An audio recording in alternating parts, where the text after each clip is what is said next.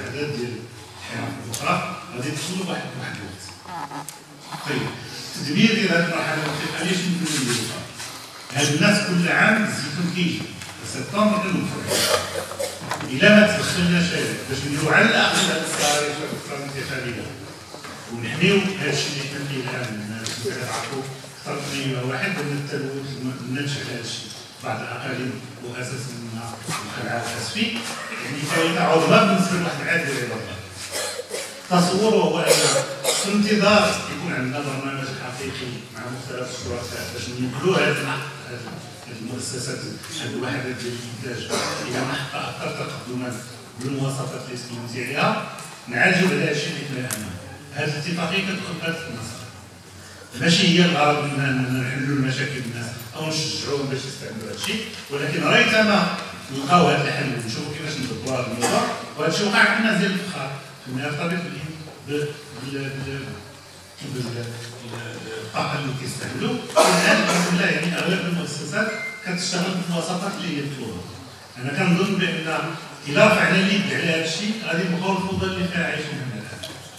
غير باش نكمل كاين جوج ديال التحويلات اخرين للجهه بالتنسيق مع الفيدراليه ومع المركز الشفائي الجامعي ومع المديرية الجهوية للصحة. لأن غنشرعوا إن شاء الله قريبا في مرحلة ديال زرع الكيلي هناك واحد المجموعه من الحالات اللي هي الهيئه ثانيا التوعيه الصحيه عن طريق التليميتين فيما يخص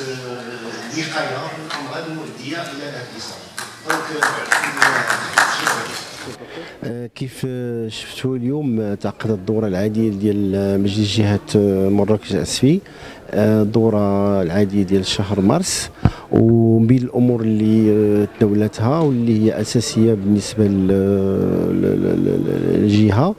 الأمر الأول يتعلق بالجانب الصحي واللي هو أساسي. المشروع اللي داز هو طبعا هو مشروع ديال ديال الدعم لجمعيه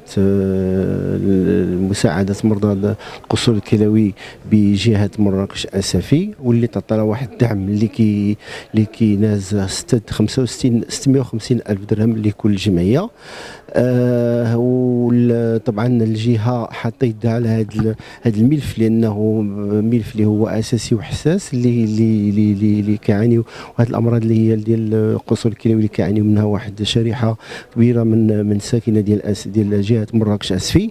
آه الجهة عطاتها أهمية وكيف شفتوا في النقاش على أنها آه يعني جمعات الجهة الجمعيات في إطار آه الفيدرالية واللي الغايه من هذا التجميع ومن هذا وهو الإشراف المباشر على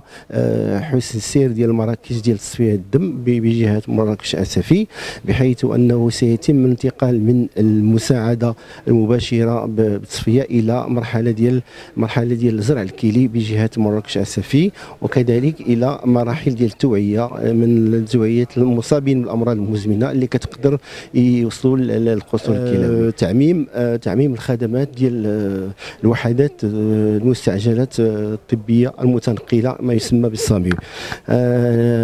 هذا المشروع اللي هو مشروع اللي غادي يتم عبر ثلاث مراحل. المرحلة الأولى هي خلق أربعة ثمانية ديال الوحدات مراكز اللي غادي تكون وحدة في كل إقليم. هذه المراكز غادي تكون محتوية على سيارات إسعاف مجهزة وكذلك بأطقم طبية وشبه طبيه مختصة في في الإسعافات. أشنو الأهمية من هذا المشروع؟ هذا المشروع الأهمية ديالو هو يعني تقديم المساعدات الاستعجالية في عين المكان سواء للمصابين أو للمرضى كذلك لتنسيق في التنقل ديال الحالات اللي هي مستعجلة سواء ما بين أماكن تواجد ديال هاد المصابين وكذلك المراكز الاستشفائيه والعمل كله غادي يكون غادي يقوم غادي يكون بتنسيق مع المركز الشفائي الجامعي عبر واحد الرقم اللي هو 141 اللي هو رقم أخضر واللي غادي يمكن أي مواطن قاطن واي متواجد بجهة مراكش أسفي غادي يستافد بهذه الخدمات عبر عبر عبر هذا الرقم هذا. طبعا الغاية من هذا المشروع هو كيف قلت آه، يعني تحسين الجودة ديال التكفل بالمرضى حيث ديك المرضى حنا كنشوفوا الطرق باش كيت باش كيتهزوا بهم المرضى وطرق الإسعاف أنه ما كاينش واحد الإسعافات اللي هي كتعطى في عين المكان. اليوم بهذا المشروع إن شاء الله غادي يتم إعطاء إسعافات في عين المكان وكذلك تنقل ديال المرضى في ظروف جد هذا جد جد جد ملائمة. واللي كيتم تقديم الخدمات ديالو الإسعافات ديالو بمجانا بمعنى أنه الجهة ووزارة الصحة هما اللي غادي يتكلفوا بهذه المصاريف عبر واحد واحد واحد اتفاق واحد الصفقه اللي غتم مع واحد الجهة خاصة اللي غتكلف بهذه العملية هذه أي مصاب لما كيتوقع حادثه السير كيفاش كي اش من وقت كي الوقت اللي كيستغرق الوصول إلى عين المكان. كذلك شنو هي الإمدادات وشنو هي الإسعافات اللي كتعطى تقريبا ما كاين شيء. ثالثا طرق ديال التنقل ديالو ورابعا وخصوصا وهو الإيواء ديالو في في في, في المستشفى.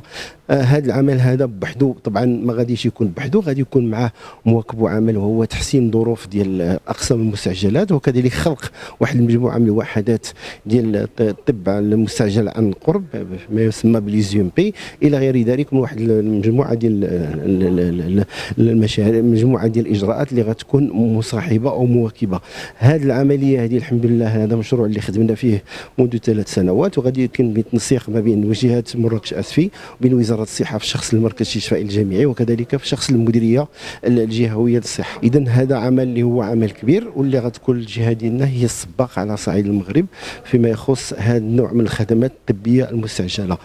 التنسيق آه، طبعا غادي قلت غادي يكون في في في, في مركز الشفائي الجامعي وغادي يكون واحد دفتر التحملات اللي كيلزم على الناس اللي غادي ياخذوا هذا اللي غادي يكون في اطار التدبير آه، المفوض هاد الناس اللي غادي ياخذوا هذا هاد التقويم بهذه العملية غادي يكون عندهم واحد المجموعه ديال الشروط اولا النجاعه ثانيا استعجال يعني السرعه في في في في, في, في التدخل ثالثا الوقوف على الايواء بشكل يعني طبي وبشكل آه، أكيد في المصابين في المراكز الشفائيه سواء في المستشفيات الاقليميه أو في المستشفى الجامعي طبعا اللي كيهم جهات كيهم اقليم اسفي وهو واحد المجموعه ديال المحاور الطرقيه اللي صدق عليها المجلس واللي آه، هي كتخدم يعني تحسين وتجويد تجويد الشبكه الطرقيه بجهه باقليم اسفي فيها الطريق الساحليه فيها واحد المجموعه ديال الطرق الاقليميه وكل يعني هذه الجهة مشاركة فيه بواحد الشكل اللي هو قوي وكبير بزاف.